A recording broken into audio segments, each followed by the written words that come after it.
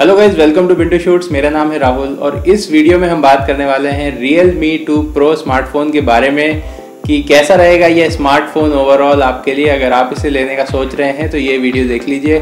मैं कुछ ऐसे पॉइंट्स कवर करने वाला हूँ इसके बारे में जो शायद आपको दूसरे वीडियोज़ में ना देखने को मिले। वैसे अगर आप शॉर्ट आंसर जानना चाहते हैं मेरा तो ये बहुत ही अच्छा फ़ोन है इस सेगमेंट में और आई थिंक ये बेस्ट रिकमेंडेशन रहेगी मेरी तरफ़ से। रियल मी टू प्रो के बारे में मैं अपने साइट पर ऑलरेडी कवर कर चुका हूँ और मैं इसको रेफ़र करता रहूँगा बीच में। तो इस फ़ोन के बारे में हम अगर बात करें तो गई चौदह हज़ार के प्राइस में स्नैपड्रैगन 660 आपको मिल रहा है। एट जी तक की रैम और एक सौ तक की स्टोरेज है वेरिएंट्स में। Dedicated micro SD card slot भी है और जो डिस्प्ले है वो ड्यू ड्रॉप नॉच डिज़ाइन के साथ आता है, जो कि पूरी तरह से एक बेजललेस डिस्प्ले डिज़ाइन है, जो हम कह सकते हैं। तो मेरे हिसाब से बहुत ही अच्छा फ़ोन है। आइए एक एक करके इसके स्पेशल फीचर्स देख लेते हैं और ये देख लेते हैं कि क्या ऐसे फीचर्स हैं जो इस फ़ोन को बेस्ट बनाता है इस सेगमेंट में। और हम बाकी फ़ोन्स का भी कंपैरिजन बीच बीच में मैं डालता रहूँगा जहाँ पर मुझे ठीक लगेगा। तो भाई, सबसे पहले इस फ़ोन की बिल्ड की बात कर लेता हूँ मैं। तो देखिए सीधा सीधा अगर मैं बोलूँ तो ये प्लास्टिक की बिल्ड है। इसे पॉलीकार्बोनेट बिल्ड भी बोलते हैं बहुत जगह पे बट ये पूरी तरह से प्लास्टिक का कंस्ट्रक्शन है यहाँ पे फ़ोन का। लेकिन ये कोई नेगेटिव एस्पेक्ट नहीं है पॉजिटिव नहीं है। ये आप पे डिपेंड करता है, कुछ लोगों को ग्लास बिल्ड पसंद है, कुछ को प्लास्टिक कुछ लोगों को मेटल मुझे पर्सनली मेटल थोड़ा ज़्यादा पसंद है बट प्लास्टिक भी मैं प्रेफर करूँगा अगर मुझे फ़ोन थोड़ा लाइट वेट मिलता है। तो गाइज़ ये फ़ोन थोड़ा लाइट वेट है। ये 169 ग्राम्स का है तो ये करीब 10-11 ग्राम्स हल्का है वज़न में। आपके Redmi Note 5 Pro और Asus Zenfone Max Pro के मुकाबले। हालाँकि इसका डिस्प्ले जो है, वो थोड़ा साइज़ में बड़ा है। डिस्प्ले के बारे में हम अभी और बात करेंगे। तो गैस प्लास्टिक बिल्ड होने के अलावा इस फ़ोन में आपको बेटर सिग्नल रिसेप्शन मिलेगा। और पीछे से अगर आप फ़ोन को दूर से देखेंगे तो आपको लगेगा कि ये ग्लास का डिज़ाइन है, क्योंकि ये पीछे से ग्लॉसी है, लेकिन हाथ में लेते ही आपको ये प्लास्टिक की तरह लगेगा। इसके डिज़ाइन के बारे में और एक बात मैं कहना चाहूँगा कि पीछे से जो कैमराज हैं, उनका बम्प है बाहर की तरफ़, लेकिन जो बम्प है उसमें कैमराज के बगल में बॉर्डर्स थोड़े ज़्यादा बाहर निकले हुए हैं। तो आपका लेंस डैमेज नहीं होगा। अगर आप इसको सरफेस पर भी रखेंगे तो आपका कैमरा लेंस टच नहीं होगा, जो कि बहुत ही अच्छी बात है। इसके अलावा गाइज़ आपको फ़ोन के साथ एक सॉफ्ट ट्रांसपेरेंट केस मिलता है और मैं आपको सजेस्ट करूँगा कि आप उसे यूज़ करो अगर आप एक रफ़ यूज़र हो, क्योंकि ये प्लास्टिक की बॉडी है और अगर आप रफ़ यूज़ करोगे तो जो बैक है प्लास्टिक का, वो ज़रूर स्क्रैच हो सकता है। तो इस बात का आपको ध्यान रखना होगा। इसके बाद गाइज़ आ जाते हैं इसके डिस्प्ले पे और मेरे हिसाब से गाइज़ ये इस सेगमेंट का बेस्ट डिस्प्ले है। ये जो ड्यू ड्रॉप नॉच डिज़ाइन के साथ आपको डिस्प्ले मिलता है 6.3 इंच का फुल एचडी प्लस रेजोल्यूशन वाला ये डिस्प्ले है। और इनफैक्ट मैं आपको बता दूँ कि ये जो ड्यू ड्रॉप नॉच डिज़ाइन वाला डिस्प्ले है। ये ओप्पो के भी कुछ एक्सपेंसिव फ़ोन्स में ऑलरेडी आ रहा है। वीवो के फ़ोन्स में भी आपको देखने को मिलेगा और वन प्लस सिक्सटी के भी कुछ लीक्स में निकल के आ रहा है कि यही डिस्प्ले डिज़ाइन आपको वन प्लस सिक्सटी में मिलेगा। बट आप समझ सकते हो कि वन प्लस सिक्सटी एक महँगा फ़ोन है। करीब चालीस हज़ार रुपये का वो आता है। तो उस हिसाब से अगर आपको चौदह पंद्रह हज़ार में रियलमी ये डिज़ाइन ये डिस्प्ले दे रहा है तो गाइज़ ये बहुत ही बढ़िया बात है। उसके अलावा इस डिस्प्ले पे आपको गोरिल्ला ग्लास की प्रोटेक्शन मिलती है। कौन सा वर्जन है, ये अभी कंफर्म नहीं है but I think Gorilla Glass three की प्रोटेक्शन है। ऊपर से डिस्प्ले के ऊपर एक प्रोटेक्टिव फ़िल्म भी लगी है फैक्ट्री फिटेड जो कि आप मत निकालना, क्योंकि गाइज़ ये एक काफ़ी थिक और बहुत ही हाई क्वालिटी का स्क्रीन गार्ड है, जो कि लगा हुआ है आउट ऑफ़ द बॉक्स काफ़ी अच्छे से। ये आपके टच को बिल्कुल भी इफ़ेक्ट नहीं करेगा। और आपको इसे हटा के कोई टेम्पर्ड ग्लास वगैरह लगाने की ज़रूरत नहीं है। जितनी प्रोटेक्शन इससे मिल रही है वो काफ़ी है और मैं आपको हाईली सजेस्ट करूँगा कि उस स्क्रीन गार्ड के साथ ही आप Realme 2 Pro को यूज़ करिएगा। इसके अलावा गाइज़ एक और बात कि ये जो डिस्प्ले है, इसकी ब्राइटनेस लेवल्स काफ़ी ज़्यादा हैं। तो आप में से जो लोग Realme 1 यूज़ कर चुके हैं या कुछ Redmi Note 5 Pro यूज़र्स के भी कमेंट्स आते रहते थे कि सनलाइट में डिस्प्ले उतना ब्राइट नहीं लग रहा। इसके बारे में क्या करें? तो गाइज़ Realme 2 Pro में डिस्प्ले की ब्राइटनेस काफ़ी ज़्यादा दी है कंपनी ने तो आपको सनलाइट में भी इसे यूज़ करने में ज़्यादा शिकायत नहीं आएगी। अब गाइज़ आप में से कुछ लोग जो फ़ोन्स पे, अपने फ़ोन के स्क्रीन पे वीडियोस वगैरह देखना पसंद करते हैं ज़्यादा और नेटफ्लिक्स यूज़ करते हैं, उनके लिए मैं बताना चाहता हूँ कि Realme 2 Pro में वाइड वाइन L3 कोडेक का सपोर्ट है तो Netflix में मैक्सिमम स्टैंडर्ड डेफिनेशन तक ही वीडियो प्ले होते हैं। HD और फुल HD क्वालिटी के वीडियो नहीं प्ले होंगे Realme 2 Pro में। और ऐसा ही कुछ इशू शाओमी और ऑनर के फ़ोन्स में भी आ रहा है सभी फ़ोन्स में आ रहा है इवन Poco F1 में भी क्योंकि उनमें वाइड वाइन L1 का कोडेक नहीं है और वही कुछ यहाँ Realme में भी इशू है। तो अगर आप Netflix यूज़र हैं तो आप शायद कोई और फ़ोन कंसिडर करना पसंद करेंगे। तो मैं आपको सजेस्ट करूँगा आप Asus, OnePlus, Samsung या Motorola के फ़ोन्स में देख सकते हैं क्योंकि उनमें वाइड वाइन एल का सपोर्ट दिया रहता है। इसके अलावा गाइज़ मैं कहूँगा कि ये जो डिस्प्ले है, काफ़ी कलर एक्यूरेट भी है और आप कलर्स की सेटिंग्स को अपने हिसाब से सेटिंग्स में जाके चेंज भी कर सकते हो। गाइज़ नेक्स्ट में बात करना चाहूँगा इसके रैम प्रोसेसर और स्टोरेज के बारे में और मैं आपको बताना चाहता हूँ कि ये काफ़ी हाई क्वालिटी के कॉम्पोनेंट्स हैं जो रियल मी टू प्रो में यूज़ हुए हैं। सबसे पहले रैम की बात कर लेते हैं। इसमें चार छः और आठ जीबी तक की रैम आपको मिल जाती है अलग अलग मॉडल्स में। और ये जो भी रैम आपको मिल रही है, वो है L P D D R four X L P का मतलब लो पावर और D D R four X ये इसका वर्जन है। तो गाइज़ ये एक low power high performance RAM है। आपकी बैटरी कम यूज़ होगी, लेकिन आपको अच्छी मल्टीटास्किंग परफॉर्मेंस मिलेगी। नेक्स्ट मैं बात करना चाहूँगा इसके स्टोरेज की। तो गई यहाँ पे चौंसठ जी और एक जी का स्टोरेज आपको मिलता है और ये जो स्टोरेज है, ये U F S two point one storage इसकी रीड और राइट स्पीड काफ़ी फास्ट होती है और U F S two point one storage आपको ज़्यादातर महँगे फ़ोन्स में देखने को मिलता है।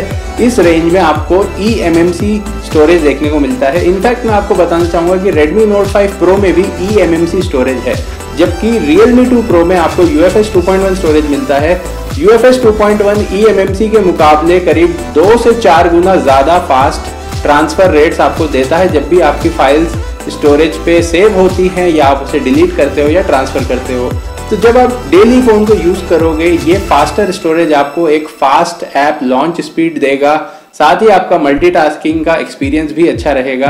और आप कोई भी ऐसा हैवी यूजेज कर रहे हैं वीडियो बना रहे हैं या फ़ोटोज़ ले रहे हैं गैलरी वगैरह से फटाफट फ़ोटो स्वाइप कर रहे हैं तो आपको ज़्यादा फास्ट एक्सपीरियंस मिलेगा। आप इसे इस तरह से भी समझ सकते हैं, जैसे अगर आप मार्केट में लैपटॉप लेने जाते हैं तो एक S S D based storage वाले लैपटॉप्स ज़्यादा फास्ट काम करते हैं कंपेयर टू स्पिनिंग डिस्क वाले लैपटॉप्स तो वो इसीलिए होता है क्योंकि वहाँ पे जो स्टोरेज की रीड राइट स्पीड है, वो काफ़ी फास्ट होती है। तो गाइज़ वैसे ही Realme 2 Pro में जो स्टोरेज है, वो काफ़ी हाई क्वालिटी की है। फाइनली गाइज़ इसमें प्रोसेसर है Snapdragon 660 जो कि इस फ़ोन का वन ऑफ़ द हाइलाइट्स है, आप सभी जानते होंगे। लेकिन ये Snapdragon 660 भी बेहतर है इस सेगमेंट में। दूसरा फ़ोन जो Snapdragon 660 के साथ आता है नियरेस्ट वो है Xiaomi का Mi A2 और वहाँ पे जो आपको क्लॉक स्पीड मिलती है सिंगल कोर की, वो है 2 गीगाहर्ट्ज़ जबकि Realme 2 Pro में आपको मैक्सिमम क्लॉक स्पीड मिलती है 2.2 गीगाहर्ट्ज ये जो हायर क्लॉक फ्रिक्वेंसी है गाइज़ ये आपको जब आप नॉर्मल ऐप्स भी यूज़ करेंगे, वो सिंगल कोर्स यूज़ करती हैं और आपको एक फास्टर ऐप स्पीड देखने को मिलेगी, आपका स्मूथ एक्सपीरियंस रहेगा। तो guys fast RAM fast storage और फास्ट प्रोसेसर आपको मिल रहा है इस प्राइस रेंज में। तो ये आपको एक बहुत ही अच्छा एक्सपीरियंस देने वाला है ओवरऑल गैस फाइनली मैं जो रियल मी वन के यूज़र्स हैं, जो हीलियो पी सिक्सटी प्रोसेसर पे बेस्ड है, वो अगर सोच रहे हैं कि ये फ़ोन कैसा परफॉर्म करेगा तो गाइज़ हीलियो पी सिक्सटी और स्नैपड्रैगन सिक्स सिक्सटी का जो डे टू डे यूजेज है सीपीयू का परफॉर्मेंस है, वो ऑलमोस्ट बराबर है, चाहे आप एंट्री स्कोर ले लें। लेकिन अगर आप ग्राफिक्स की बात करेंगे तो स्नैपड्रैगन 660 की ग्राफिक्स ज़्यादा बेटर है आपके हीलियो P60 से। तो gaming performance Realme two Pro की ज़्यादा अच्छी रहेगी। कंपेयर टू आपका Realme 1 लेकिन जो डेली यूजेज है, वो आपको दोनों में ही उतना ही फास्ट देखने को मिलेगा। तो गाइज़ गेमिंग की जहाँ हमने बात कर ली तो PUBG आप Realme 2 Pro में मीडियम सेटिंग्स में खेल पाओगे हाई सेटिंग्स में नहीं खेल पाओगे, और मीडियम सेटिंग्स में जितनी हीट होती है, वो नॉर्मल है। आपको और भी किसी अच्छे फ़ोन्स में इतनी ही हीट देखने को मिलेगी। दूसरा, जो फ्रेम ड्रॉप्स है, वो बहुत ही कम है तो ओवरऑल आपको एक स्मूथ एक्सपीरियंस मिलेगा Realme 2 Pro में। PUBG जैसे गेम में भी। और बाकी जो एसफॉल्ट वगैरह है, वो तो स्मूथ चलता है। ऑडियो की बात कर लेते हैं तो यहाँ पे नीचे की तरफ़ एक सिंगल बॉटम फायरिंग स्पीकर है, जो कि काफ़ी लाउड है Realme 2 Pro में भी। तो आपको कॉल्स वगैरह मिस नहीं होंगी, और अगर आप स्पीकर पर भी वीडियोस देखते हो तो आपको ज़्यादा शिकायत नहीं होगी। और जो हेडफोन जैक दिया है, उसमें एचडी साउंड का सपोर्ट है। एचडी साउंड आप सेटिंग्स में जाके ऑन कर सकते हो। बाकी Realme प्रो में भी ये सेटिंग थी। और हेडफोन की साउंड काफ़ी अच्छी है, अगर आप एक अच्छे क्वालिटी के हेडफोन यूज़ करते हो। तो ऑडियो के मामले में Realme 2 Pro अच्छा काम करता है। गैस अब बैटरी की बात कर लेते हैं। तो 3500 सौ की बैटरी है। इस सेगमेंट में हमने देखा है 4000 5000 mAh की बैटरी हमको मिल रही है दूसरे फ़ोन्स में। तो उस हिसाब से हाँ पैंतीस सौ एम थोड़ा कम है। लेकिन फिर भी अगर आप एक हैवी यूज़र भी हो तो भी ये फ़ोन एक दिन आपका पूरा निकाल देगा। आपको कभी ऐसा नहीं लगेगा कि आपको शाम को इसको चार्जर के पास कनेक्ट करना है। आपका एक दिन ये बैटरी चल जाएगी बढ़िया आराम से, लेकिन उतनी नहीं चलेगी जितना Redmi Note 5 Pro या Zenfone Max Pro चलते हैं। साथ ही गाइज़ इसमें USB 2.0 पोर्ट है टाइप सी नहीं है, जो थोड़ी सी डिसअपॉइंटमेंट है बट कंपटीशन को हम देखें तो उसमें भी आपको यूएसबी 2.0 ही मिलता है। फास्ट चार्जिंग भी नहीं है स्लो चार्जिंग है और ज़ीरो से 100 परसेंट चार्ज करने में आपको दो घंटे पंद्रह मिनट का समय लगेगा, जो बॉक्स में आपको चार्जर मिलता है उसके साथ। इस कैमरा की बात कर लेते हैं तो पीछे और आगे 16 मेगापिक्सल के मेन सेंसर्स हैं, पीछे ड्यूअल कैमराज हैं और दूसरा सेंसर है 2 मेगापिक्सल का। अब जो पीछे 16 मेगापिक्सल का सेंसर है, उसमें f 1.7 का अपर्चर है, जिससे कि लो लाइट में शॉट्स थोड़े बेहतर आए। अब ये जो है रियलमी का अब तक का बेस्ट कैमरा है। 4K वीडियो का सपोर्ट है इसमें। 4K वीडियो आप 30 fps पे ले पाओगे। लेकिन जो स्टेबिलिटी है, वो आपको फुल एच वीडियोज़ में ही देखने को मिलेगी। तो फुल एच डी वीडियो आप ई e स्टेबिलिटी के साथ रिकॉर्ड कर सकते हो इसमें। साथ ही गए जो फ्रंट कैमरा है, वो 16 मेगापिक्सल का है f2.0 उसमें अपर्चर है। बोके शॉट्स का सपोर्ट आपको आगे के कैमराज में और पीछे के कैमराज दोनों में मिल जाएगा। साथ ही गाइज़ इसमें जो पिक्चर की क्वालिटी है, अगर आप डे लाइट में शॉट्स लोगे तो बहुत ही अच्छी क्वालिटी है। कलर्स भी नेचुरल हैं और जो फोकसिंग की स्पीड है, वो काफ़ी फास्ट है। लेकिन अगर नाइट शॉट्स की बात करें तो एवरेज क्वालिटी के शॉट्स हैं, उसमें और इम्प्रूवमेंट अभी हो सकता है।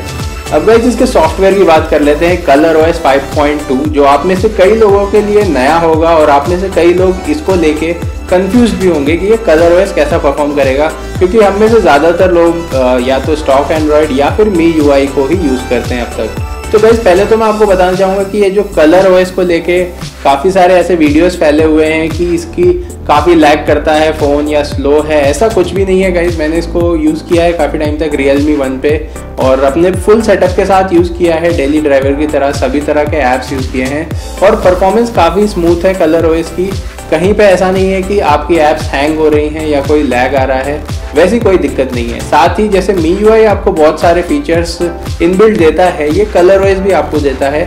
चाहे आपका इनबिल्ट स्क्रीन रिकॉर्डर हो ऑडियो रिकॉर्डर हो, या आपका कॉल ब्लॉकर हो सिक्योरिटी एप्स हो थीम्स का भी सपोर्ट है बट वो थोड़ा लिमिटेड है। मी यू जितना एक्सपेंडेबल नहीं है।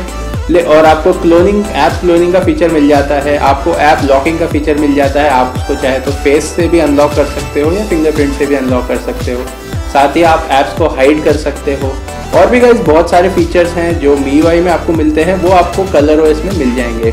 लेकिन कलर ओएस की फिर भी थोड़ी रेस्ट्रिक्शंस हैं जो उसको मी वाई जितना अच्छा नहीं बनाती। कुछ रेस्ट्रिक्शंस जो मुझे पता है, मैं आपके साथ शेयर कर देता हूँ। सबसे पहले तो अगर गाइज़ आप एक custom S M S app use करना पसंद करते हैं तो आपको प्रॉब्लम होगी क्योंकि कलर ओएस सिक्योरिटी की वजह से एस एम एस ऐप को चेंज नहीं करने देता। आप चेंज दूसरी ऐप इंस्टॉल भी करोगे तो भी नोटिफिकेशन आपको main S M S app से ही आएँगी।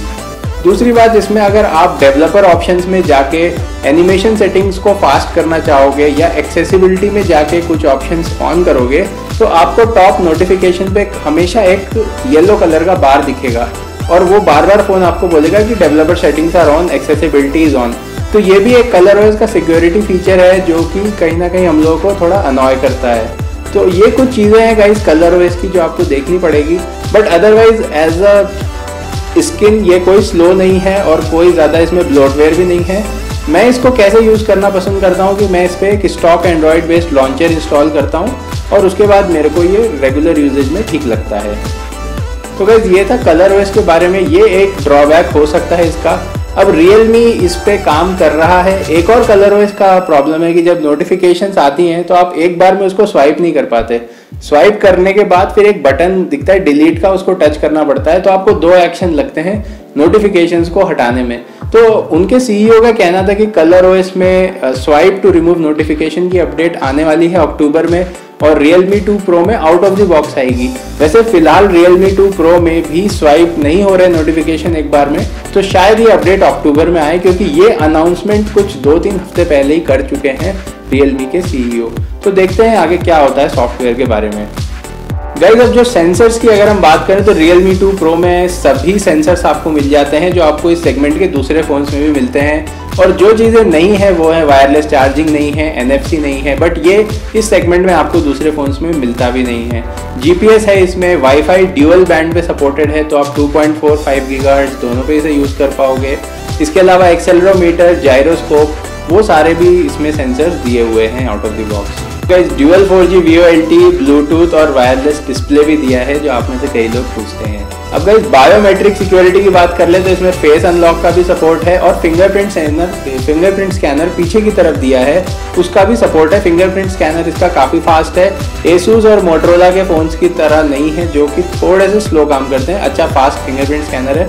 और फेस अनलॉक तो रियलमी का बहुत ही फास्ट है, वो हम सभी जानते हैं। तो तीन मॉडल्स आते हैं, इसके चार जी बी रैम चौंसठ जी बी स्टोरेज वाला चौदह हज़ार का आता है छः जी बी रैम चौंसठ जी बी स्टोरेज वाला सोलह हज़ार का आता है और अट्ठारह हज़ार में आपको आठ जी बी रैम एक सौ अट्ठाईस जी बी स्टोरेज वाला मॉडल मिलता है। माइक्रो एच डी कार्ड के लिए आपको अलग से स्लॉट मिलता है तो आपको ड्यूअल सिम के साथ आप माइक्रो एच डी भी यूज़ कर पाओगे तीनों ही मॉडल्स पे। फाइनल कंक्लूजन की अगर मैं बात करूँ गाइस तो ओवरऑल ये बहुत ही अच्छा फ़ोन है। अगर आप कॉन्स की बात करेंगे तो कॉन्स में देखिए नेटफ्लिक्स में आप HD क्वालिटी में वीडियोस नहीं इस पर चला पाओगे, ये पहला कौन है? दूसरा, इस फ़ोन में आपको 3500 सौ की बैटरी मिलती है, जो एक दिन आपकी चलेगी, लेकिन आप उसको दो दिन तक नहीं चला पाओगे। तीसरा, इसमें यू एस 2.0 का पोर्ट है और फास्ट चार्जिंग नहीं है तो इसको आप चार्ज करोगे तो आपको दो, सवा दो घंटे का समय लगेगा। और गाइज़ जो सबसे बड़ा ड्रॉबैक हो सकता है आपके लिए भी, वो है कलर ओएस क्योंकि ऑल दो इसमें सारे फीचर्स हैं बट फिर भी ज़्यादातर लोगों को मैंने देखा है इसे नहीं पसंद करते। तो मैं इसको ज़्यादा फोर्स नहीं करूँगा। कलर ओएस को एक ड्रॉबैक ही मान के चलते हैं फ़िलहाल के लिए। वैसे रियल मी काफ़ी एक्टिवली फीडबैक को सुन रहा है अपने सोशल मीडिया पे और अपडेट्स भी दे रहा है। तो आई होप कि आगे चल के ये कलर ओएस का जो सिचुएशन है और बेहतर हो जाएगा।